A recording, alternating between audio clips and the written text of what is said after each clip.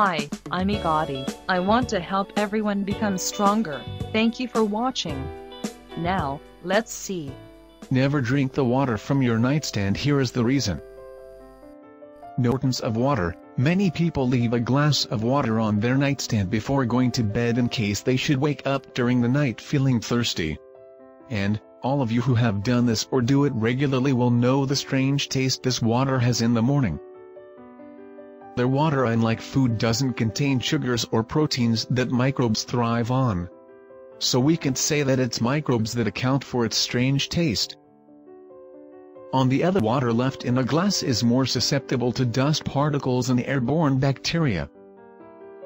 On the, when water is exposed to air, it absorbs carbon dioxide, a small part of which is converted into carbonic acid. In other words, this implies that water exposed to air is prone to changing its chemical structure. To be more specific, carbon acid converts into carbonate or bicarbonate when it releases one or two protons, which in turn changes the water pH.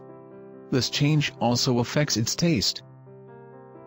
Although this doesn't necessarily mean that water that's been on your nightstand all night is harmful to drink, it's definitely something worth considering due to the fact that this water has collected a lot of dust and airborne bacteria.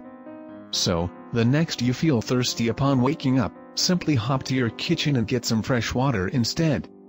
Thank you for watching. See you in the next video. Don't forget to subscribe. Goodbye.